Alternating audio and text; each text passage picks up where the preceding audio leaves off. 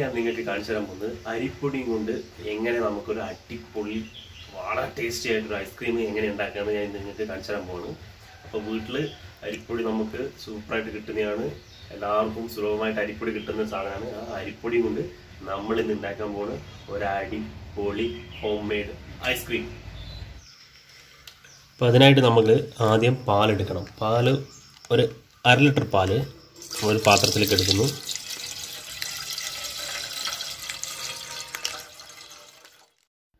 ശേഷം നമ്മൾ ഒരു ചെറിയ കപ്പിലേക്ക് ഒരു നാല് ടീസ്പൂണ് അരിപ്പൊടി എടുക്കുക. എന്നിട്ട് ഈ അരിപ്പൊടിയിലേക്ക് നമ്മൾ കുറച്ച് പാലൊഴിച്ചിട്ട് നന്നായിട്ട് മിക്സ് ചെയ്തെടുക്കുക. എന്തിനാണെന്ന് വെച്ച് കഴിഞ്ഞാൽ നമ്മൾ പാലിലേക്ക് ഡയറക്റ്റ് റൈസ് പൗഡർ ഇടരുത്.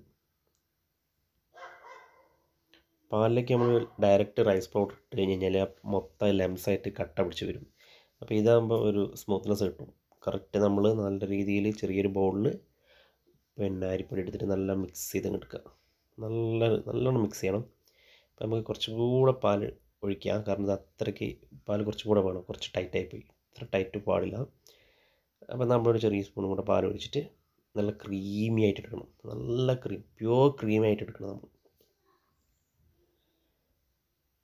നല്ല രീതിയിലാണ് ആ സ്പൂണിലുകൊണ്ട് നല്ലോണം മിക്സ് ചെയ്തിട്ട് നല്ല ക്രീം പരുവത്തിൽ ടെക്സ്ചറിൽ കിട്ടണം. നല്ല ടെക്സ്ചർ ക്രീമി ടെക്സ്ചർ കിട്ടിയാലേ അത് കറക്റ്റ് ലെംസ് ഒന്നും ഇല്ലാണ്ട് നമുക്ക് കിട്ടുള്ളൂ. നല്ലതാണ്ടോ ആ പിക്ചറിൽ കാണുന്ന പോലെ തന്നെ വീഡിയോയിൽ കാണുന്ന പോലെ തന്നെ നല്ല ക്രീമി ആയിട്ട് എടുക്കുക.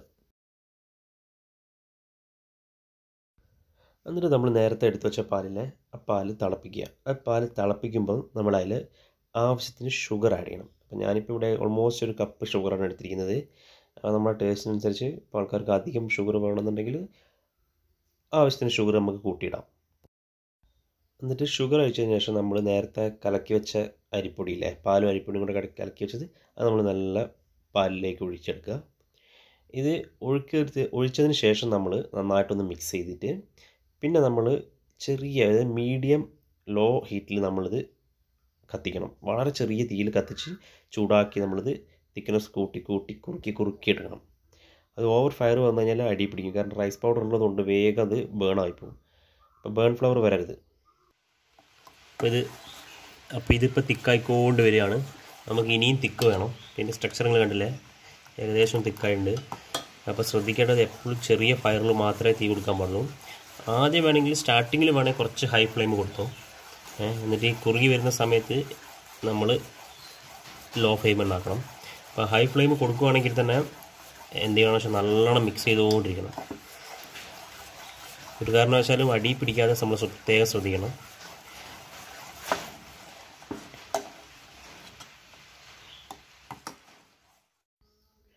അപ്പോൾ ഇതാണ് ഇതിന്റെ കറക്റ്റ് പരിപ്പം ഏകദേശം നന്നായിട്ടൊന്ന് കുറി വന്നിട്ടുണ്ട്.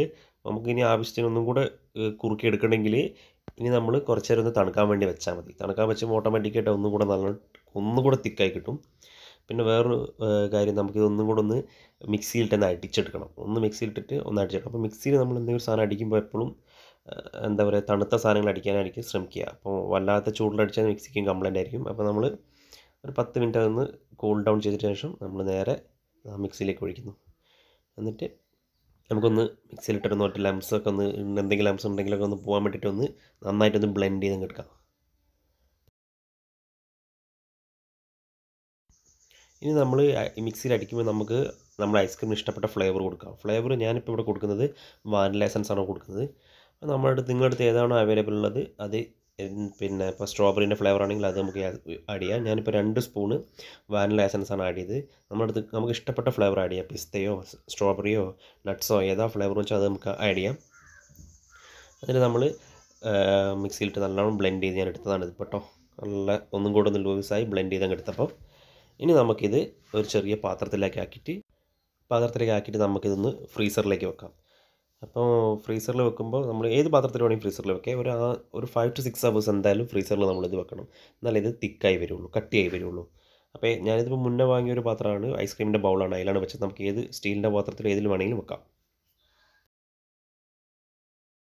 അപ്പോൾ ഞാൻ മുന്നേ പറഞ്ഞ പോലെ നല്ല രുചിയൂറും നമ്മളെ റൈ റൈസ് പൗഡറിന്റെ ഐസ്ക്രീം റെഡി ആയിട്ടുണ്ട്. നമുക്കിനി അതൊന്നൊരു സ്കൂപ്പ് ചെയ്തിട്ട് ഒരു സെർവിങ് ഡിഷിലിട്ടിട്ട് കഴിച്ചു നോക്കാം.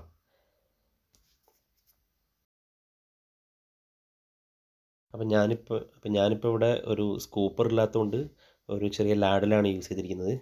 അപ്പോൾ സ്കൂപ്പർ ഉണ്ടെങ്കിൽ നമുക്ക് കുറച്ചും കൂടെ e-, ഈസി ആയിട്ട് എടുക്കാം. സ്കൂപ്പറിന്റെ ഒന്നും ആവശ്യമില്ല. ഏ?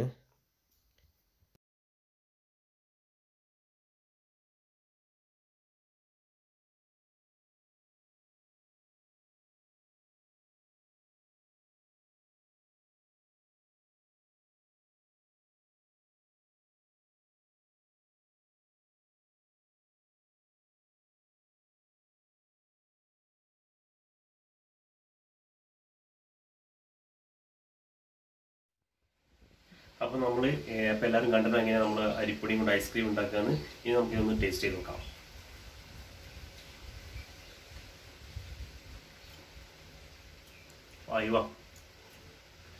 ആരും പറഞ്ഞാൽ വിശ്വസിക്കില്ല അത്രയ്ക്ക് ടേസ്റ്റ് ഉണ്ട്. അടിപൊളി സാധനം അടിപൊളി സാധനം. ഒരു കാരണവശാലും ഈ സാധനം മിസ് ചെയ്യരുത്. ഇത് എന്തായാലും നിങ്ങൾ വീട്ടിലുണ്ടാക്കി വേണം. അടിപൊളി ടേസ്റ്റ് അടിപൊളി സാധനം. കൊതിയാവാതെ തിന്നിട്ട് തിന്നിട്ട്. ഏഹ് കാരണം എന്താ വെച്ചാൽ നമ്മൾ പുറമേ നിന്ന് ഐസ്ക്രീം ഒന്നും വാങ്ങി നമുക്ക് അത്ര വിശ്വസിക്കാൻ പറ്റില്ലല്ലോ. ഇത് നമുക്ക് സിമ്പിളായിട്ട് കുറച്ച് മെനക്കെട്ട് കഴിഞ്ഞാൽ നമുക്ക് ഉണ്ടാക്കാൻ പറ്റുന്ന ഒരു വളരെ ഹെൽത്തി ആയിട്ടുള്ള ഒരു ഫുഡാണ് ഐസ്ക്രീമാണ് അപ്പോൾ എല്ലാവരും ഇതൊന്ന് വീട്ടിൽ ട്രൈ ചെയ്ത് നോക്കുക. ഒരിക്കലും മറക്കരുത് ഇത് ട്രൈ ചെയ്തിരിക്കാൻ അടിപൊളി സാധനമാണ്. വെറും അരിപ്പൊടിയും പാലും മാത്രം മതി. കുറച്ച് ഷുഗറും